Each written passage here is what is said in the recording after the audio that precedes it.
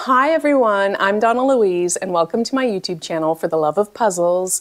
About a week ago, I put up a poll on my community tab here on the YouTube channel as well as on Instagram asking you all if you wanted to see me open up and tackle the third bag of Educa's Around the World jigsaw puzzle or if you wanted me to crack open this Clementoni downtown jigsaw puzzle. Well, both of them are 6,000 pieces. This obviously is the third bag of seven. I've already done bags one and two, whereas this one would be start to finish one single image. The artist is Ciro Marchetti. You may recognize him because I've done Ye Old Shop as well as the Zodiac jigsaw puzzle on this channel before. Love his artwork, so much fun. He has a lot of his artwork turned into jigsaw puzzles. Bright, bold, beautiful, so much fun. Okay, so the results are in. I have them written here on a piece of paper. The Educa third bag got 98 votes. And Clementoni's Downtown got 143 votes. So there you go. I am going to just set this aside for a little bit longer. Don't worry. I promise I will get back to the Educa Around the World Jigsaw Puzzle. I will, I promise. But for now, let's take a little detour downtown and do this beautiful, bright, colorful jigsaw puzzle. Once again, I have my hopes up so high that I'm going to love this jigsaw puzzle that I hope not to be disappointed. I just think it's it's just so pretty, so colorful. Just looking at the bags, first of all, these pieces look to be more of a typical standard size. And in fact, the overall finished size is quite big. I used two boards to do the Educa uh, section on, and I think this one will just fit on the two boards. I may have to go buy something bigger, hopefully not. But also, the finish looks really nice, doesn't look too shiny, and I think overall it'll be easier on my eyes, hopefully. Now the size reference image that I have for Educas around the world is, is quite small, it's not very big. But at least this one is about just over two sizes bigger. However, it's on the box, so there's no poster. I really wish they would have included a poster. I've asked my husband, he's going to try to scan the image and print it out for me so I have a paper fold out that I could refer to. I can, however, prop up the box, but I definitely won't want to hold the box and keep it close to me while puzzling. So the first thing I'm going to do is sort all the pieces. I think I'll mostly be by color. Golds, reds, blues, multicolored pieces, purples, greens. There may have to be some sub-sorting once I come to grabbing piles. I find when you're sorting a really large size jigsaw puzzle, like partway through the sort, you're like, oh, I should subsort these pieces. And, and you know, the initial sorting starts one way and by the time you're done, it, it's quite a bit different. And that's okay. It's 6,000 pieces, so it's a lot. Now during the voiceover, I'm not too sure what much to talk about because I've already spoken about this artist. And I thought maybe during the time lapse for the sorting, I could tell you how I came to acquire this jigsaw puzzle because you've not seen it at any shopping halls so far. But beyond that, I'm not too sure what to chat about. So if you have any requests, comments of things you would like me to discuss, leave your comments below. We could talk about hot air balloons. Um, perhaps the style of architecture, but I think this will end up being probably three videos. I feel like a 6,000 piece is about a three video series. So we'll have plenty of time to discuss a few different things. I always find something to chat about, but if you have any suggestions, leave your comments below. But for now, and for the love of puzzles, let's get to building Clementoni's downtown jigsaw puzzle.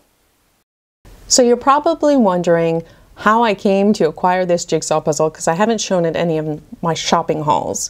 Basically, when I was sorting the pieces from Graphica's 6,000 piece vintage travel jigsaw puzzle, I use often um, boxes from previous jigsaw puzzles as sorting trays. And I've kept a lot of Clementoni boxes because they're high quality, very good quality. And I had the box from Ye Old Shop, which was another jigsaw puzzle with the image from Ciro Marchetti. And I remember when I was picking up that vintage travel jigsaw puzzle in all the brown and I flipped that box over, and it reminded me of how much I enjoyed doing that jigsaw puzzle. It was colorful, it was whimsy, it was just fun. And I thought, I wonder what other jigsaw puzzles have been made with Ciro Marchetti's artwork on it. I know it's always bright and colorful. And then I thought, isn't there isn't there a big Clementoni jigsaw puzzle? I think there is. So some late night Googling led me to, of course, find the Clementoni 6000 piece downtown jigsaw puzzle with his artwork on it. And I thought, what are the chances that I'm going to find it in New Zealand for a reasonable price? I thought, well, might as well look. And recently I've come across a new online retailer here in New Zealand that actually has a wide variety of jigsaw puzzles at very decent prices. So I think this was a good price. I paid, what was it, 80 New Zealand dollars with shipping for this jigsaw puzzle. I think that was well worth it. I have no idea how much it costs in the rest of the world, but for a 6,000 piece Clementoni high quality jigsaw puzzle here in New Zealand, $80 well spent. And I thought, yeah, let's just go ahead. Let's just buy it. Let's just get it. And when it arrived, I was so happy. I just wanted to dive right in right away. Just even through the bag, the pieces looked beautiful and colorful and quite nice. I was so happy. So here you see me sorting. And of course, I had to build as I sort. I couldn't just sort the pieces. And I know I have a lot of different sections going on, but they all make sense to me. And I'll explain to you in a bit all the different piles and what I'm doing. A lot of those boxes that I'm using right there are Clementoni boxes, one of which is probably the ye old shop box, just because of their durability and versatility. So if you can reuse your jigsaw puzzle boxes for sorting trays, do you do that as well? Oh my goodness. But yeah, I, I had to get it and it made me so happy, especially after all the brown from the vintage travel jigsaw puzzle. This was the pop of color that I needed, absolutely.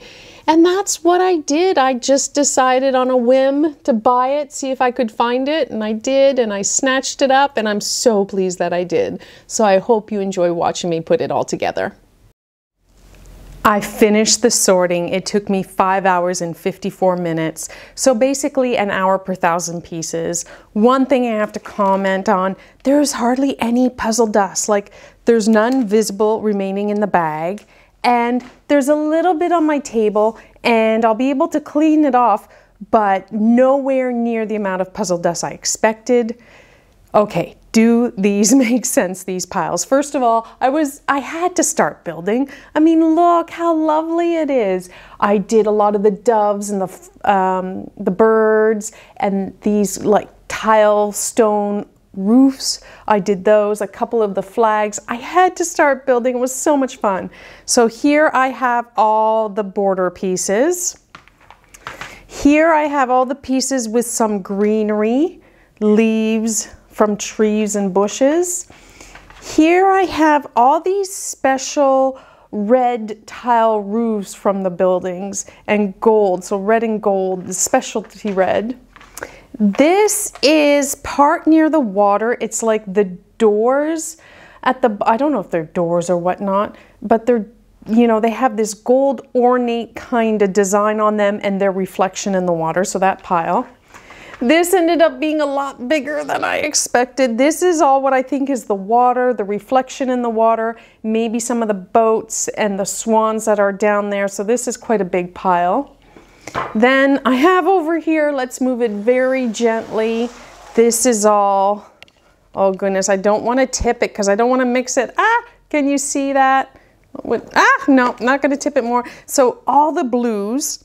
Then um, the sky, and then any sky that had a bit of like a star in it, and then all the off colors, the whites, the pinks, the purpley colors. So that's in that big box right there. I'm gonna move that off completely. In this box here, again, I don't wanna mix it too much. I believe I have all the um, hot air balloons. And then some more sky, but I think there's the moon. This actually might be some flags or part of hot air balloons. I'm not sure yet. Now, way back there, and I can't move it, I still have the big box. Here's the big box. Those were those ornate doors with the gold that I was referring to. I have back there now, I have all kind of brownish building pieces and there's some red flooring kind of divided. This is basically what's going to end up being the transition pieces. I believe these are all pieces that'll show the transition between the sky and the buildings. I think I'm going to do that pretty early on. And then over here, these are all pieces that were colorful flags or the sails from the boats. And then finally, some pieces next to it of buildings that I thought stood out a bit more. So for example, this darker building here, or this one, or that one. Oh, it was just so much fun to sort and I had so much fun building some of it as I went along. I have to figure out where to put everything now because it's a lot. So basically, this board is not large enough for the jigsaw puzzle. I need two of them, and I do have two. There's one sitting on top of the other. Um, and I have to pull the table out a bit and rearrange everything. Usually I wait for my hubby to help me. He's still at work for the next several hours and I really want to get to building. So I might, I might try to do it on myself or I might just build some here and do some close-ups and then try to move the pieces later on. But you can get an idea of scale of how big things are. For example, let me bring you over this little four piece and it, it holds together quite nicely. So can you see that? That's a little dove. That dove right there corresponds to this itty bitty tiny dove right there on the box. So that gives you an idea of scale of how big this jigsaw puzzle is gonna be. Oh, but I've had so much fun so far. Absolutely love it. So I just got to get cracking into it. It's going to be beautiful. I know the sky, the blue, probably leave that to the end, is going to be difficult. The border might be a bit tricky, but besides that, the rest of this is going to be so much fun.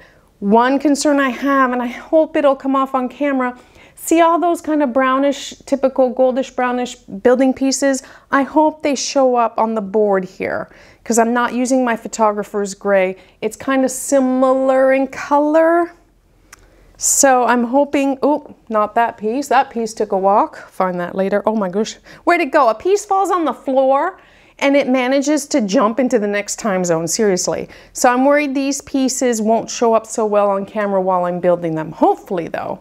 But there you go, the sorting is all done. So much fun. I thought we could chat a bit about hot air balloons.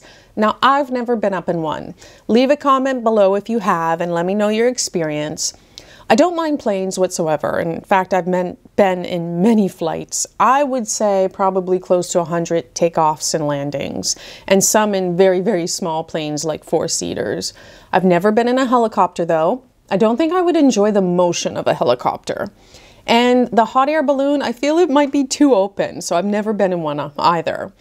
Well, a hot air balloon was actually the first successful human carrying flight technology. It was invented in 1783 by Joseph and Stephen Montgolfier, and the first untethered manned hot air balloon flight was performed by Jean Francois Pilatre de Rosier and Francois Laurent Darlande on November 21st, 1783, in Paris, France. And it was in a balloon created by the Montgolfier brothers. A hot air balloon is a lighter than air aircraft consisting of a bag called an envelope. I did not know it was called an envelope. I thought it was called a balloon, but I guess the technical term is an envelope, and that's what contains the hot air, or I should say the heated air. Now, suspended beneath it is a gondola or a wicker basket, and in some cases for long distance or high altitude balloons, it's a capsule, so I'm assuming then it would be fully enclosed. And that's what carries the passengers as well as the source of heat. And in most cases is an open flame caused by burning liquid propane. The heated air inside the envelope makes it buoyant since it has a lower density than the colder air outside the envelope. Hot air balloons cannot fly beyond the atmosphere. So the envelope does not have to be sealed at the bottom since the air inside the envelope is about at the same pressure as the surrounding air. Now, in modern sport balloons, the envelope is generally made from nylon fabric, and the inlet of the balloon, which is closest to the burning flame, is made from a fire resistant material such as Nomex. Modern balloons have been made in many shapes, such as rocket ships and the shapes of various commercial products, though the traditional shape is used for most non commercial and many commercial applications. Modern day hot air ballooning using a controlled propane burner and nylon fabric was invented in 1961 by Ed Yost at Raven Industries. Hot air balloons that can be propelled through the air rather than simply drifting with the wind are known as thermal airships. I did not know there was such a thing as a propellable hot air balloon. Is propellable even a word? If not, I just invented it. Hot air balloons are able to fly to extremely high altitudes. On November 26, 2005, Singhania, hopefully I've said their name correctly, they set the world altitude record for the highest hot air balloon flight, reaching 21,027 meters. That's nearly 69,000 feet. He took off from downtown Mumbai, India, and landed 240 kilometers away, about 150 miles south from there. Steve Fossett, an American aviator, was the first person ever to travel around the entire globe on a solo balloon flight. He launched the 10 story high balloon called Spirit of Freedom from northern Western Australia on June 19th and returned to Australia on July 3rd in 2002, subsequently landing in Queenstown. Now, the duration and distance of this solo balloon flight was 13 days, 8 hours, 33 minutes of nearly 30, just over 33,000 kilometers, which is about 21,000 miles. The balloon dragged him along the ground for 20 minutes at the end of the flight. Only the capsule survived the landing. It was taken to the Smithsonian Institute in Washington, D.C., where it was displayed. Now, his top speed during the flight was 299 kilometers per hour, which is about 186 miles per hour, and that was over the Indian Ocean. Now, the trip set a number of records for ballooning, like the fastest, um, breaking his own previous record for speed, I guess, the fastest around the world, the longest distance flown solo in a balloon, and actually the longest 24 hour balloon distance. So definitely he set quite a few world records there. But yeah, I found this so very interesting. I know here in New Zealand we do have some hot air ballooning in various um, places that you can go up as a tourist. I just, I would, I love the idea of going up and being free and fle- feeling like you're flying and seeing everything, I just don't think I'm going to enjoy the motion of it. I think I'd probably get motion sick. But then again, leave your comments below. I want to know your experience. Have you ever been up in a hot air balloon? I love this jigsaw puzzle. I love it.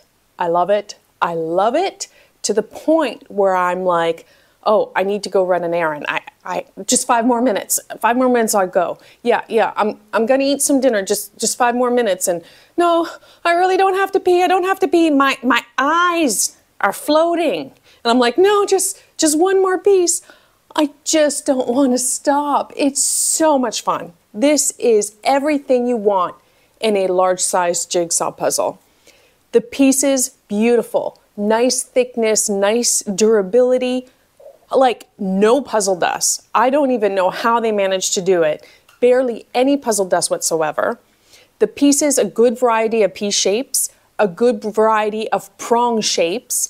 I hope that will help me out when it comes to the sky because there's a lot of blue there. And so I'll be able to give you an update further down the line once I get to the sky if there truly is a variety of those pieces. So far it feels like it, but I've been doing relatively easier sections. Oh my goodness, the colors, vibrant, beautiful. The finish on the piece, like, depending on the angle of the light, it might look a little shiny, but really overall, it's a nice finish, not too much glare, not too much shine. Just lovely. And the image itself, I mean, down where the water is, it's meant to be a reflection. So I know that's supposed to be a little blurry-ish, but even that, the detail is amazing. I spent six hours sorting, loved every minute of the sort. I love taking each piece and really looking at them and investigating and where you go and what do you do and what part do you belong to. And the pieces, there were very few pieces that I didn't know where to classify them because the detail was so nice on every single piece. Loved it. I picked out a few things to build as I sort because sorting does get, you know, a little tiresome after a while. So I always pick and choose a couple of things to build as I sort, things that stand out and are easy to do. So in total, I've spent 13 hours working on this jigsaw puzzle now. And I feel I've got a lot done. I tried to put my camera further back. I know you still can't see the entire board. So the surface I'm working on is 1200 millimeters by 1800 millimeters. So it's quite large. And I think it's just gonna barely fit on it. And I'm trying to remember to do close-ups as well as the GoPro full overhead shot because I will admit, I'm loving the jigsaw puzzle so much that I'm forgetting that I also want to film and get like nice footage for you all to watch. And I'm like, oh yeah, I, forgot to start the camera. Oh, oh yeah, I forgot to turn on the lights properly. I'm just so engrossed with this jigsaw puzzle. Love it. So my thing is, if you've done a thousand piece puzzle and you want to do a, a larger size, I say go up 1,000, try a 2,000. Then 2,000, try a 3,000 piece. And maybe if at that point you've done a 3,000 piece jigsaw puzzle and you're like, yeah, I really love this, this is lots of fun, perhaps then you could jump to a 6,000 piece jigsaw puzzle. And this would definitely be a puzzle that I recommend because I feel it's easy enough to get going and feel like you're accomplishing things because there's very distinct things to work on, very distinct colors. Oh, I'm, I'm just absolutely loving it. And it's beautiful.